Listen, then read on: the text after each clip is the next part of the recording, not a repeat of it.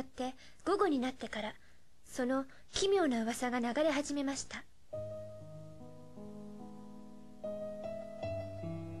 一つは午前中誰もいないはずの音楽室でピアノが鳴っていたという噂。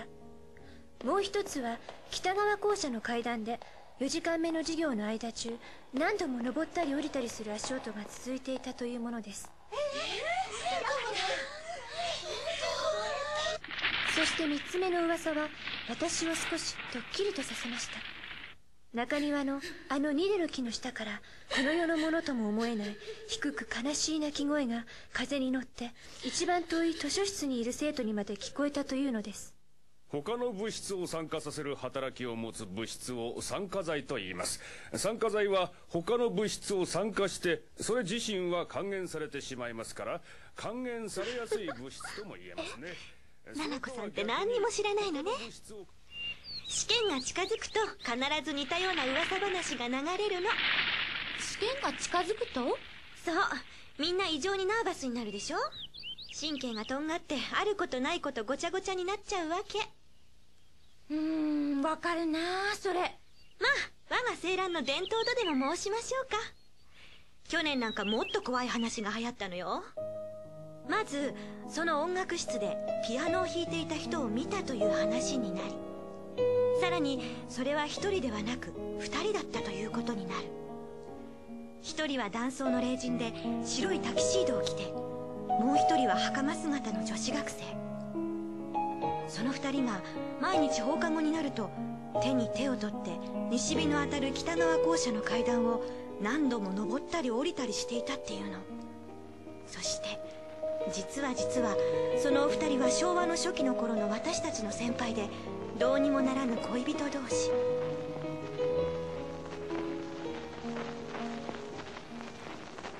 だからついに雨の日のニレの木の下でお互いの手首をカミソリで切ってそのお二人が試験が近づくとなぜかご登場するっていうわけ。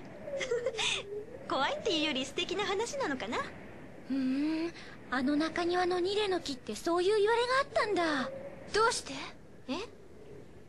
どうして二人は死ななければいけなかったの？知らない。でも幸せだったと思う。好きな人と死ねたんだから。ねえねえ何？それって深い話か？さあ奈々子さん行きましょう。ソロリティハウスもうすぐ勉強会始まってよ。うん。私先行ってる。とも子さんまた明日ね。ああああしっかりね。ノートよろしく。どうした？ナナコうん何でもない。寝てないな？え？まあええか。じゃ気入れてね。勉強会バイバイともこともこったら。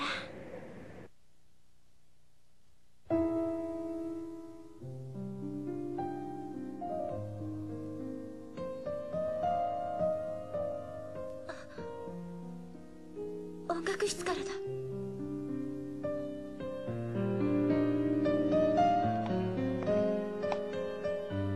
いかがなさいました？皆さん先にソロリティハウスへ。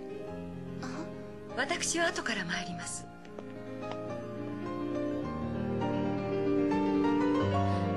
違いない。この曲。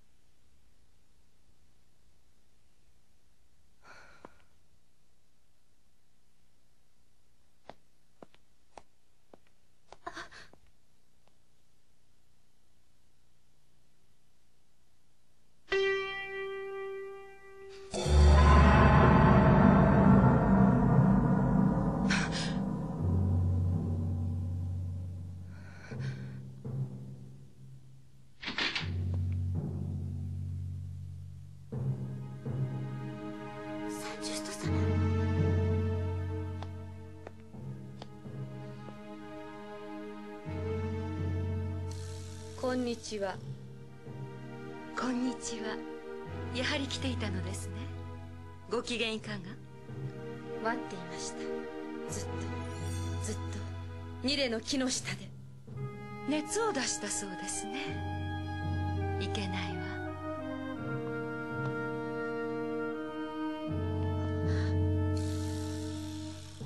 ダメね。まだだいぶ熱があってよ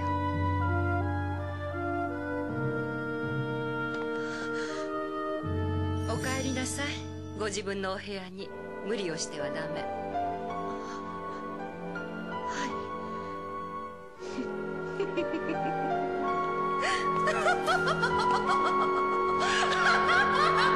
い